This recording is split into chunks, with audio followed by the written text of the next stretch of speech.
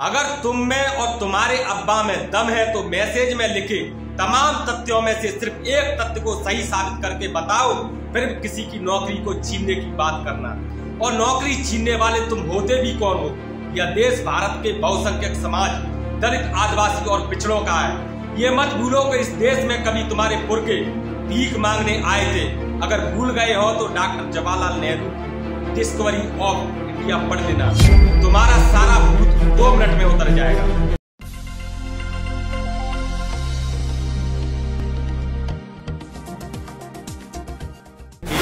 जातवादियों द्वारा बहुजन अधिकारियों को बनाया जा रहा है निशाना।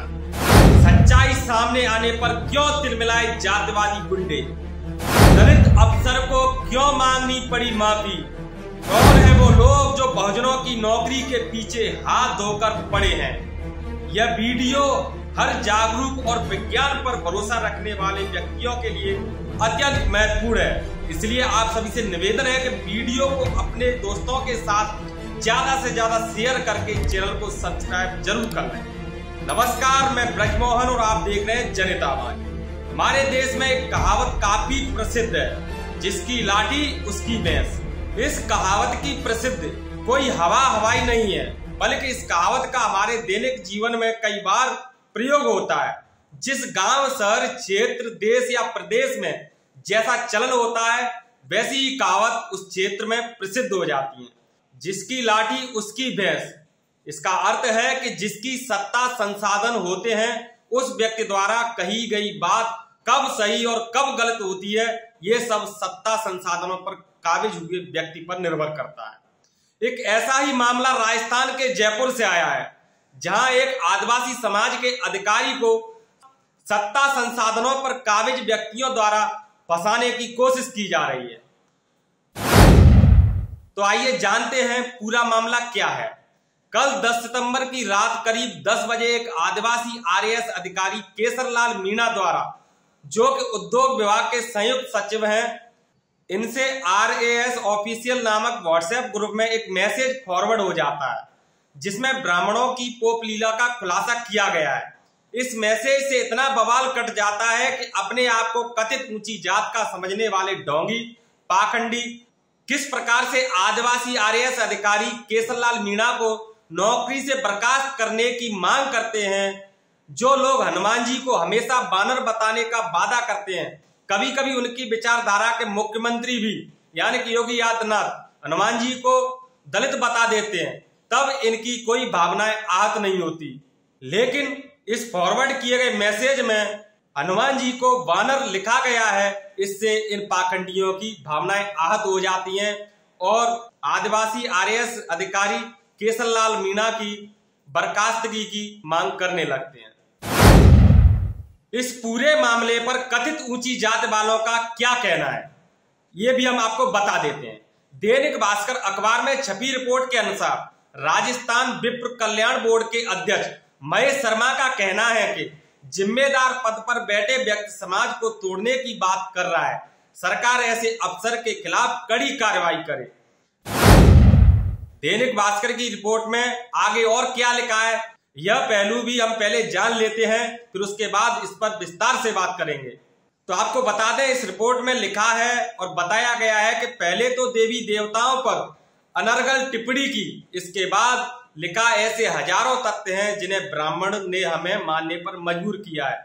और हमने चाहे न चाहे मान लिया, आखिर क्यों?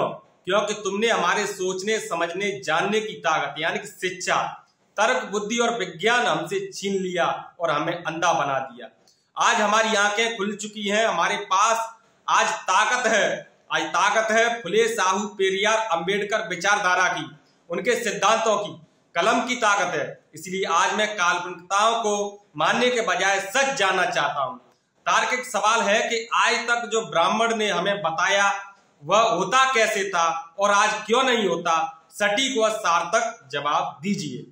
तो देखा, इस मैसेज में सिर्फ़ यही सवाल है, इस सवाल से ये मनवादी तिलमिलाए हुए हैं। तो साथ ही आपको बता दें, इसमें लिखा है कि ब्राह्मणों ने बोला, बिना पंख के बंदर उड़ गया, हमने मान लिया। ब्राह्मणों ने बोला, बंदर ने उड़कर आग के विशाल गोले, यानी कि सूर्य को खा लिया, हमने बोला, ठीक है। ब्राह्मणों ने बोला, हनुमान कान से पैदा हो गए, हमने यह भी मान लिया। ब्राह्मणों ने एक बंदर से सोने की लंका को जलवा दिया, यानी कि एक धातु के महल को जलवा दिया, हमने मान लिया। ब्राह्मणों ने बोला, पृथ्वी गाय के सींग पर टिकी है, हमने ये भी मान लिया। ब्राह्मणों ने बोला, पृथ्वी शेष नाग के फन पर टिकी है, हमने बोला, ठीक है। ब्राह्मणों ने बोला, ब्राह्मण ब्रह्मा के मुँह से निकला है, इसलिए श्रेष्ठ है। हमने बोला, ठीक है। इसके अलावा ऐसे ही तर्क करने के और भी बिंदु लिखे हैं, जो आप हमारी स्क्रीन पर देख सकते हैं। तो आपको बता दें, मीना द्वारा जारी किए गए एक वीडियो के अनुसार उनका कहना है कि, मेरे पास कहीं से यह मैसेज आया था, मैं डिलीट कर रहा था कि गलती से फॉरवर्ड हो गया। दूसरे अफसरों की आपत्ति के बाद 20 मिनट बाद मैसेज डिलीट कर दिया गया। तो साथियों, ये था पूरा मामला। हमने इस मामले के हर पहलू से आपको अवगत कराने की कोशिश की है।